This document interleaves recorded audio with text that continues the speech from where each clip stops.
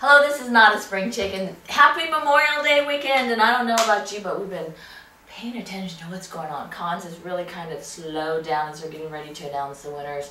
But the biggest news today is the president. And no, it's not that the president said anything.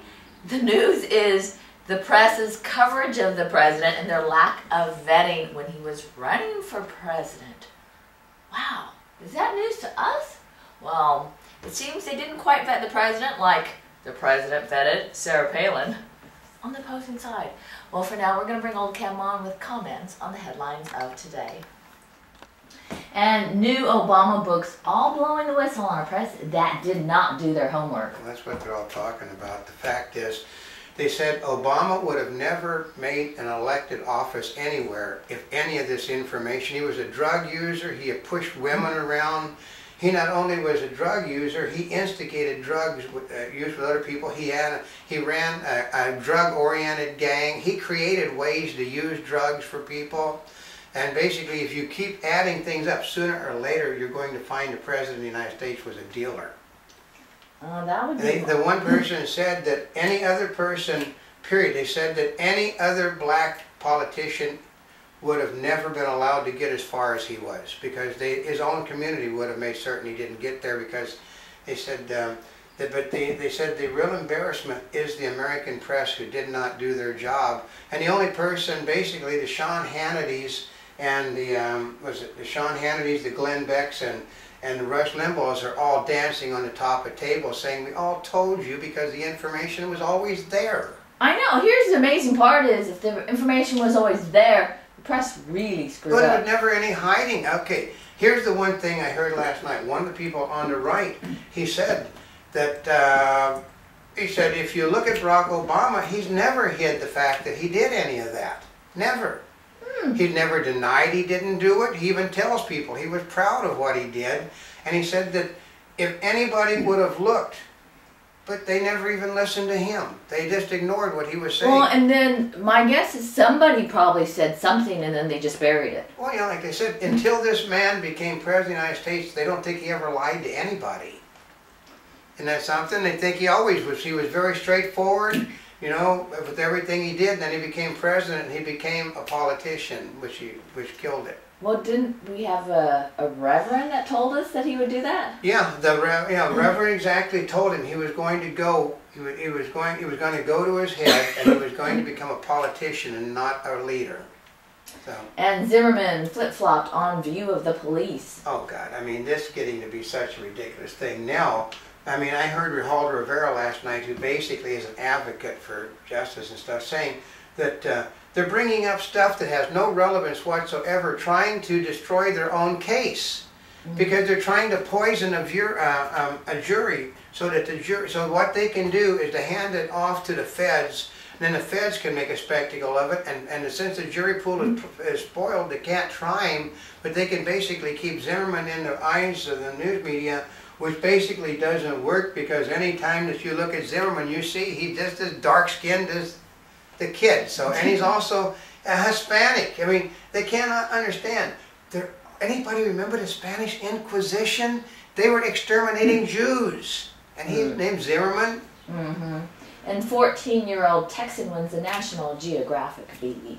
That's awfully old. Generally, they're much younger when they won. When those Oh, are they? Yeah, they, because a 14-year-old getting ready to be, it a a, sophomore in high school now? They generally is in, in middle school or grade school when they win these competitions. So if they're having to go higher, And former high school football star exonerated in rape case. oh yeah, he spent five years in jail because uh, the um, what happened was the people didn't do their do, didn't do their job. And here's how the guy found out about it. The woman t- uh, basically uh, t- uh, li- uh, liked him on Facebook and told him she didn't have anything against him. She was told that she had to do this by the authorities. What? Yeah. Uh, and she was afraid that if she came out and told the truth, that they were going to put her in jail and take the million and a half dollars away she got from the school. Basically, he his football career was destroyed, his college was destroyed. He spent five years in jail because of, uh, they falsified a case, which means um, a lot of people are going to go to jail over this one. A lot That's of them. really yeah. bad. Yeah, really bad because there was never any case, nothing. She just lied about everything that went on because she said, well, her parents told her to tell them that because they didn't want her reputation to be ruined. And then when she told the police department, her parents had told her to say this, and they said, don't change your mind because he's getting what he deserves. Ooh. Yeah, he's getting what he deserves. Those officers. Now this will be interesting to see what happens because she told them. Yeah, they knew they knew she wasn't telling the truth. They, but they told her just to keep saying it because they'd already. Well, did Well- she have to go on the jury stand? Yeah, she perjured herself on the Yeah. stand, and all of the people that were involved in the case committed perjury. All of them. They're all. Um, basically, you can see a lot of them going. You know, like uh, we do know a famous person, the O.J. Simpson crowd, lives on the Canadian border. So anytime they come to serve him with a notice, he steps on the back of his property in Canada where he can't be served an arrest warrant. You might as well just live in Canada. Yeah, well, Yeah. because he doesn't want to live in Canada because it, uh, he, he wants to live in the United States, but his crop, but all he has to do is go to the back of his house, which is in Canada, and basically says, you can't serve me because I'm in Canada, a foreign country, and Canadian. And if the Canadians come, guess what happens? He goes to the other side. That's right.